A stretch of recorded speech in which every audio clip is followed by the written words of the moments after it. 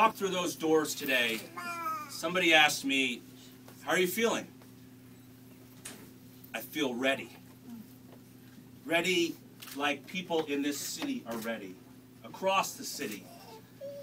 Ready to push forward again, ready to embrace a vision that will last us for generations. People in this city are ready to set aside the political drama and disagreements that hold us back and we're ready to leave that baggage behind. We've had a tough few years, not just in Stamford, but across the country. And we've managed okay. But now we're ready and we're anxious to figure out what's next. I'm ready. I'm ready to lead this charge as your mayor. We can't continue to just go through the motions anymore. We can't drift and wander and find our future by neglect. We have to figure out where we're going in this city. And the first step in that is to reconnect with who we are. Let me tell you who we are.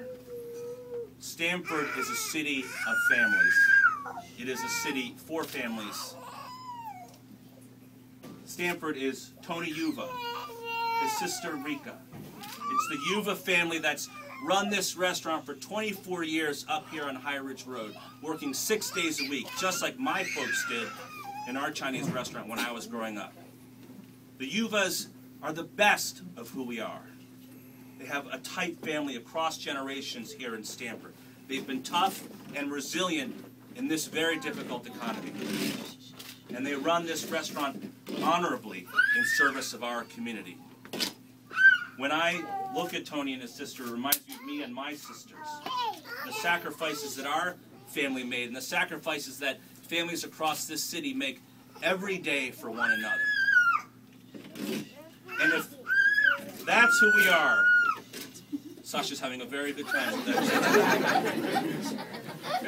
Here comes the punchline, kid. if that is who we are, think of who we can be. All of our families across the city coming together to build the finest small city in America. When I think of Stamford's future and who we can be, I see a city where parents like us can confidently send our kids to great schools and raise our children here. I think of children growing up in Stamford and then someday returning here to raise families of their own. I think of parents and grandparents staying in the homes that they've invested in, staying in the neighborhoods and retiring there in the neighborhoods they know so well. I think of one larger family of people, from the young people that live in apartments downtown to the seniors debating world affairs at the senior center, bound together by a common ambition to be better. This vision can be real we can do this. We're ready to do this together. And that's why I've started work on a plan I call Stamford 2020, a city for our families. By 2020, the year 2020, Stamford will be the finest small city in America for families.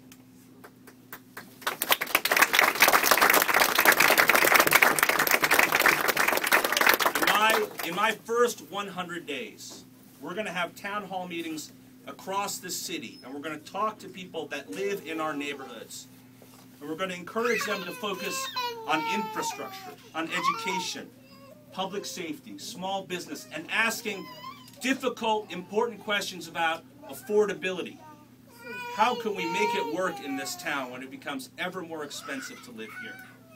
And by focusing on those five key areas, each neighborhood in this city is going to write their own 2020 plan. By the end of my first year in office, every neighborhood will have drafted that plan, and I will appoint a cabinet level director of community and resident affairs to put that into action.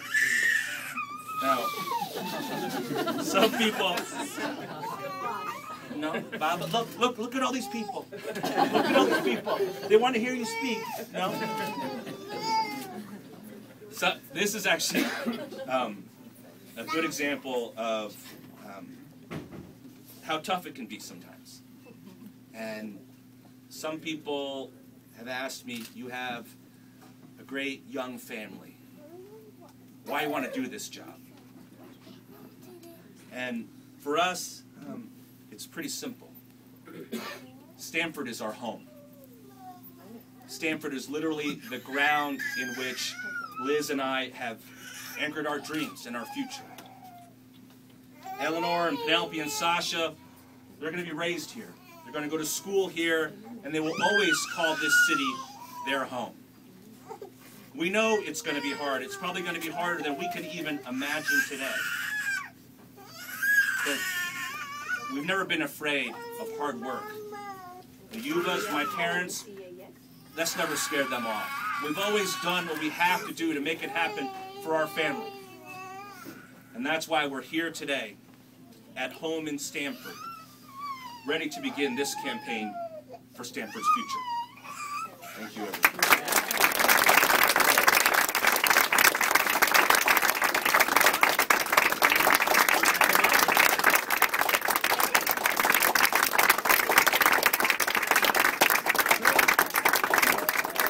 Yay! Thank you, everybody, for coming. I think we have some pizza, right?